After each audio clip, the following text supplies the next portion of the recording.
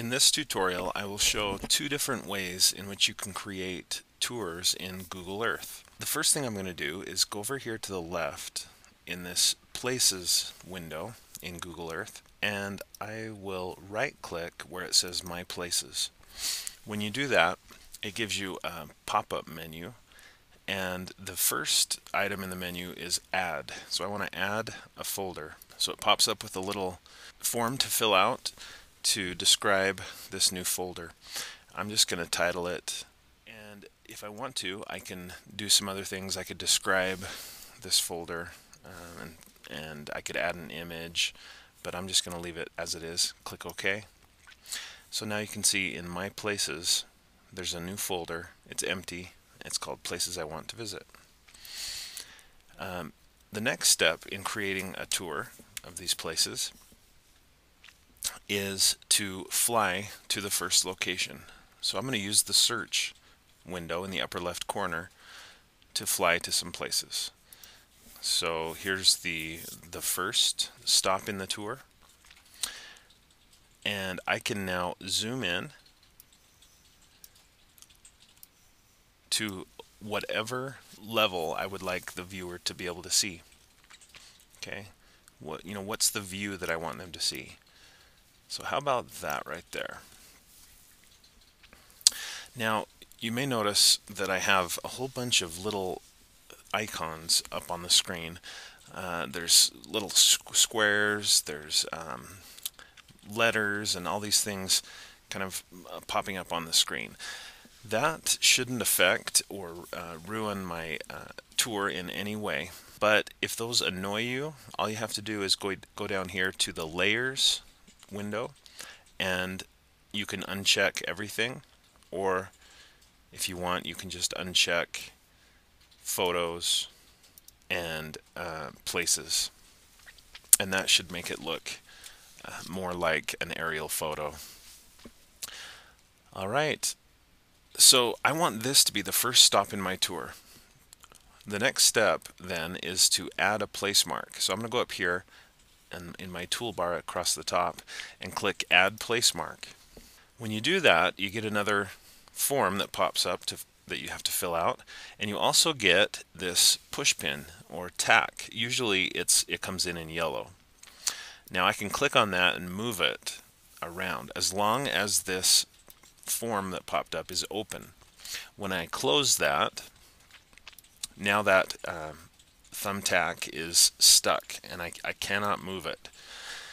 If I just really need to move that, I would have to right click on it and choose properties.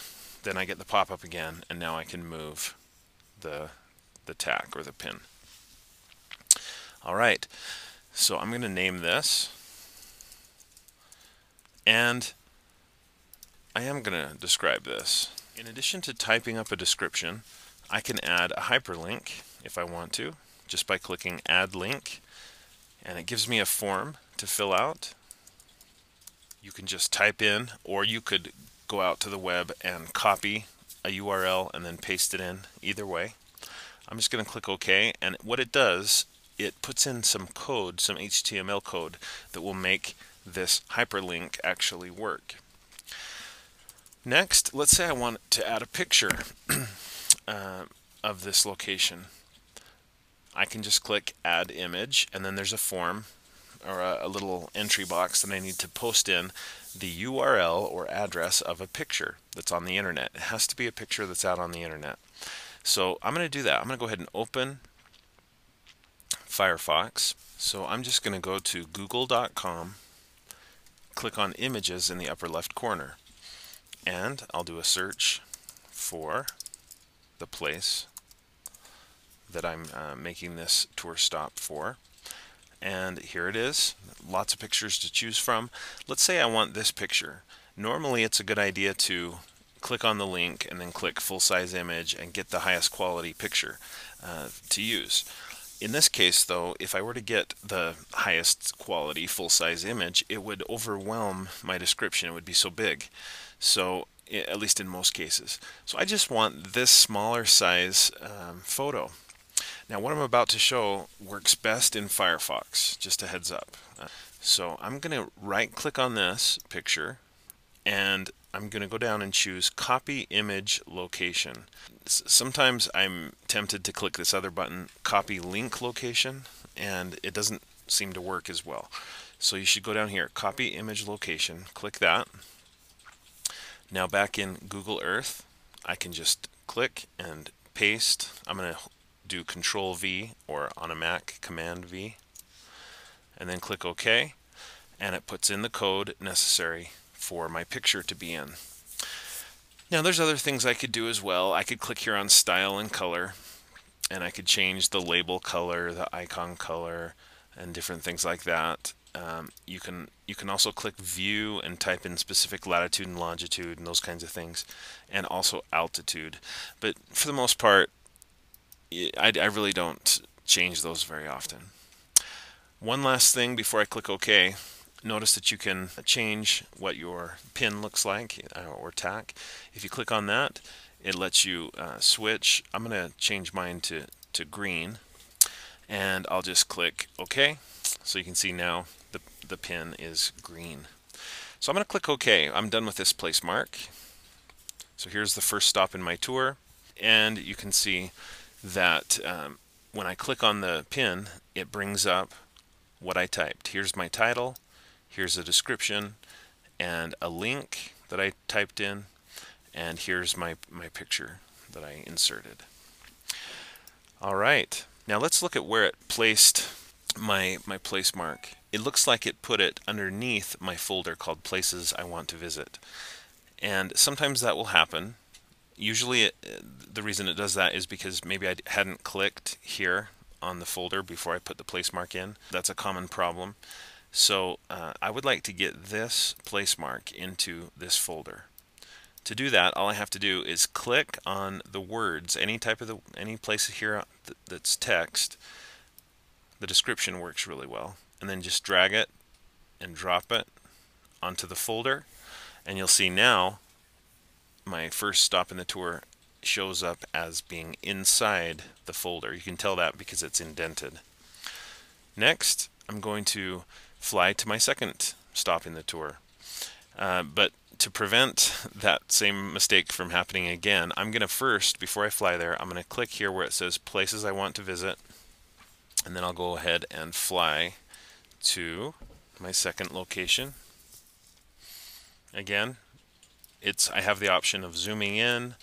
I could change the uh, the tilt, um, you know, the angle if I want. I'm basically arranging the view that the um, the people that watch this will see when they take my tour.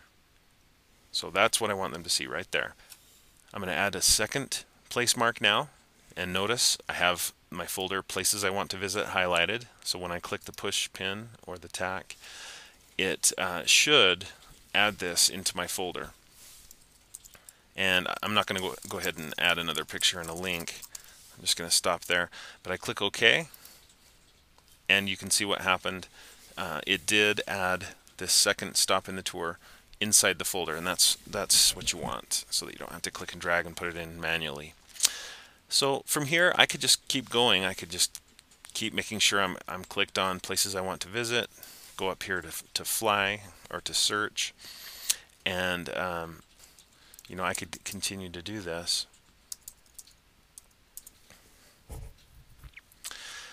But you just repeat those steps over and over until you build the tour that you want uh, for people to, to be able to see.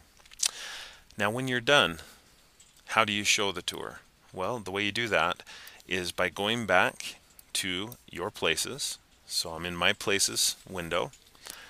You click on the tour that you would like to show, and then you'll see a folder with a play button.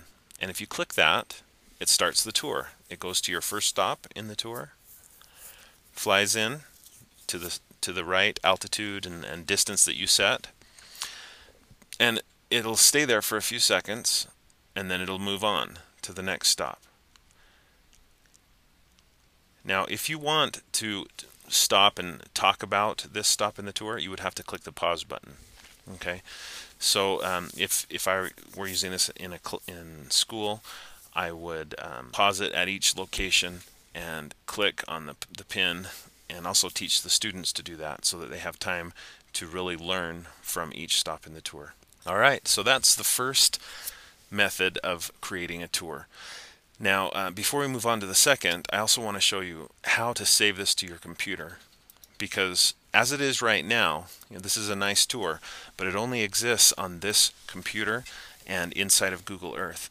Well, I would like to save it to the desktop and maybe send it to some friends or, or you know, students need to know how to be able to send this to, to the teacher as a project.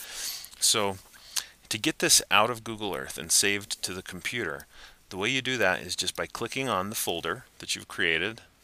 So I click on my folder, places I want to visit.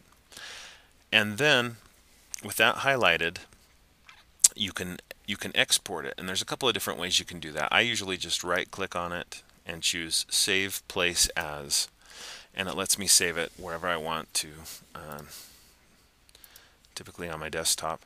And I usually save these as KMZ files, but you can also save as KML files. So I'm going to save to the desktop. And you'll see now on my desktop, here is um, my Google Earth tour. Okay, so now let's look at a second way to create a tour in Google Earth. The second method is, is a little different. Instead of relying on you know, typing in descriptions and inserting photos, the second type of tour is just a recording of what I say and the places I go in Google Earth. So to demonstrate this, I'm going to create a second tour and I'm going to go to My Places, click on the words My Places, and with that selected, I'm just going to go up to the top of the screen and you'll notice that there's a little icon of a camera. It looks like a video camera. And I'm going to click on that and you'll notice that this little tool pops up at the bottom of the screen and it has a microphone symbol and then a record button. And at first this was confusing to me. I thought I had to click both of those or I, I don't know. It was hard for me to figure it out what I was supposed to do. But the trick is if you want to do a narrated recording, you would click the microphone. If all you want to do is record the places that you visit, then you would click the red record button. So let's say I want to do a narration. I would click this, a recorder comes up. In this case, I'll just go ahead and, and click the record button. Okay, so now, at this point, everything I do in Google Earth will be recorded. Now, if I had clicked the, the uh, microphone button, then it would also record my voice as well. Okay, so I can just move from place to place. I could talk about uh, the, the places I'm showing. Okay, or while it's recording, I can fly to different locations. And all of this is being captured by the Google Earth recording tool. I'm going to go ahead and stop that. And what happens next, as soon as you stop the recording, it rewinds it and it plays it so you can see what you have recorded. And that's what's happening right now on the screen. So I can see it worked. If I had recorded my voice, my voice would be playing as well so that I could hear and make sure that that worked. I'm going to go ahead and stop that. Let's say this is something that you want to keep that turned out well and, and it's it looks good. All you have to do is click the save button. It's right here. And I need to title this. Now I can describe this tour just like the other one if I want to. I can add an image or a URL, but I'm just going to stop there, click OK, and you'll see it was added now. This tour I just recorded was added in my places.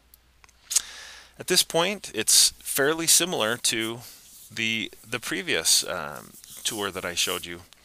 Uh, if I want to save this to my desktop, I just click on it, oh, before I show that, notice that you can click this button here to play the tour at any time. But uh, to save this to my desktop, I just right click on it, choose Save Place As, and save to the desktop. Alright, so hopefully you can see the differences between these two types of tours.